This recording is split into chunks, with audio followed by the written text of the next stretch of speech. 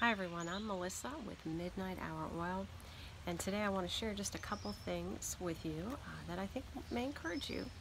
Um, I received a, a, text from a friend this morning and she just shared something with me that uh, compelled me to, to share what I'm going to share.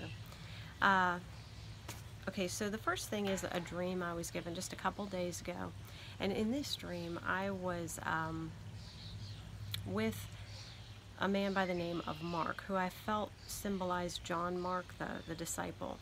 And we were helping my sister, whose name is Mary, uh, get her child out of the hospital.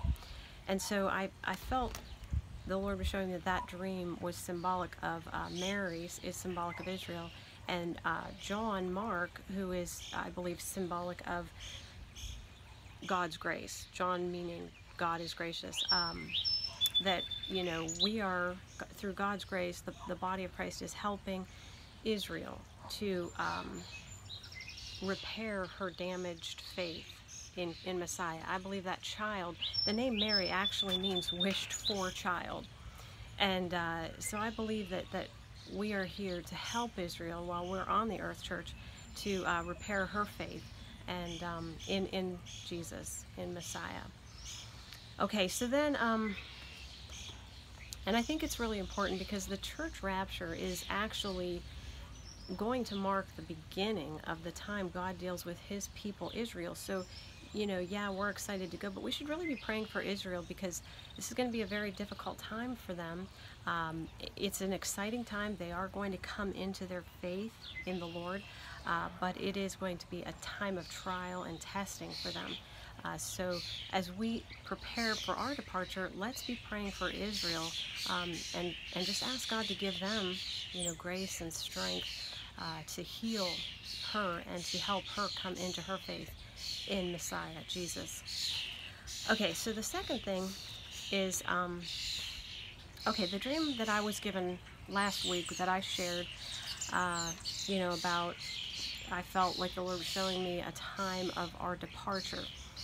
And so a friend of mine shared with me that that very night when she watched that video, okay, she said she went to bed and she was given a vision, okay, and she, what she saw in all bold was June 7 for three hours straight. And so I, uh, I asked her what she felt that meant. She did feel that meant, you know, the time of, of the rapture you know, which I shared in my last video. I do believe the body of Christ is meant to know the timing of the rapture. Um, you know, that no man knows the day or the hour. The when Jesus was having that conversation with his disciples, the church hadn't even been born yet. And uh, of course, we know the mystery of the rapture was only revealed to the Apostle Paul years later. Okay, so Jesus was not talking about that. He was talking about his second coming, which is a separate event, seven years after the rapture. Okay, so, but again, that June 7, I just kept thinking about like, what could that mean? And so I was just doing a search on YouTube just to see if anybody had shared any significance about that date. And what I learned, I found uh, Brother Barry Scarbrough had put a video out about a couple months ago. And it was about June 2017, the significance of that time. Well, he actually shares that June 7th was the time Israel took back Jerusalem, June 7th, 1967. Okay, and he just added like 49 Gregorian years, which of course takes you to June 7th, 2016, uh, as the beginning of the Jubilee year, the 49th year. And then, of course, the completion of that would be June 7th of 2017. So again, I don't want you to take this the wrong way. Everything we share whether you know it's a dream a vision you know we always have to take these things to the lord okay? Our human bias as barry scarbrough talks about all the time can get in the way. We can we can misunderstand things. We can misinterpret things. You know just like the disciples who were looking for a physical kingdom expected jesus to set up his physical kingdom but it was a spiritual kingdom. So we we have to as we receive information whether it's a dream or a vision you know date information take it to the Lord, okay, and make sure, you know, that you are listening for His confirmation, all right?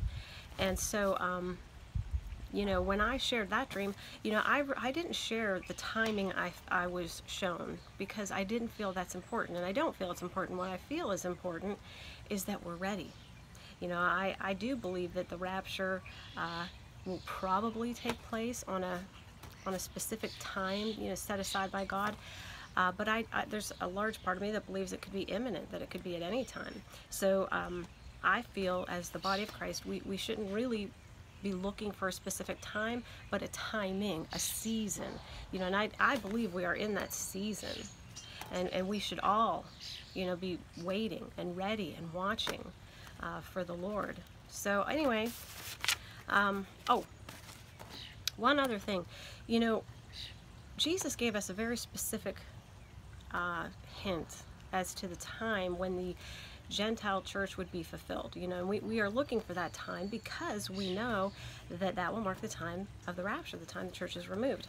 And in Luke 21 24, Jesus said, Jerusalem will be trampled on by the Gentiles until the time of the Gentiles is fulfilled.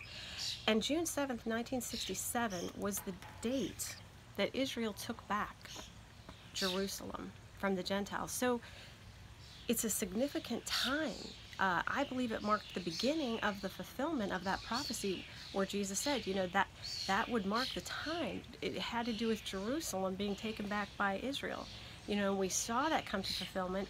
Um, and now we're seeing a completion of the 50 years, you know, which I believe Paul gave us some very uh, specific time to be watching with the, the, the, first fruits, comparing the church to first fruits, uh, the completion of the barley harvest, which we're in that season of Pentecost.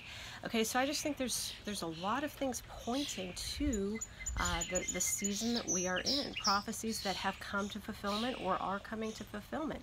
So, anyway, let's just be watching, church. Let's not get caught up or hung up on specific dates, but let's just be ready, watching for our Lord.